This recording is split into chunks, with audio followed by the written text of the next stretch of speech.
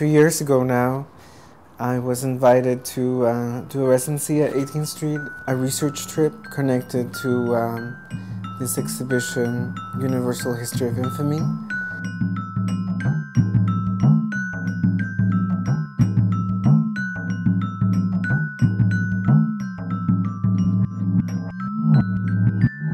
My piece is called Corazón del Espantapájaros.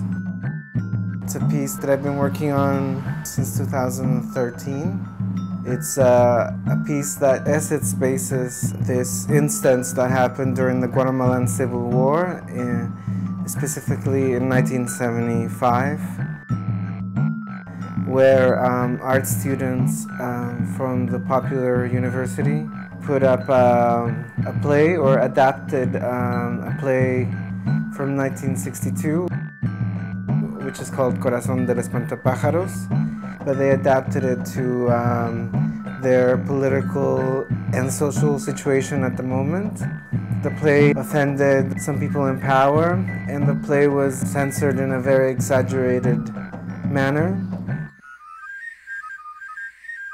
My own taking of the play has not actually been the play, but has been a condensation of um, the kind of characters that um, the original play presented.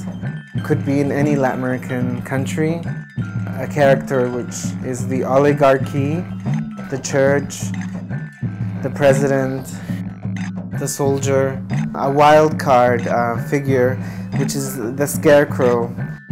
The scarecrow itself, uh, the scarecrow of the title is something um, been a bit interesting to think about what, what it is. In the 1962 play, they explain in some passage that the scarecrow or the scarecrows are the bodies of political dissidents that are found in the cornfields. And I think it is a, a hard um, role to probably interpret because uh, what is the scarecrow? I mean, he's supposed to be um, a political dissident, perhaps a victim. Is he actually like a spiritual being um, between plant and human? Is he a dead or a living person? This censorship, of course, affected other arts.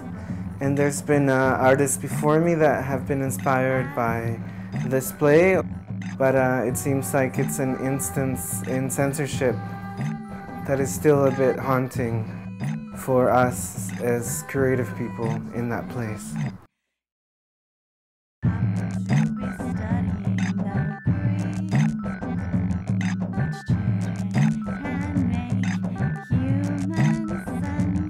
whatever they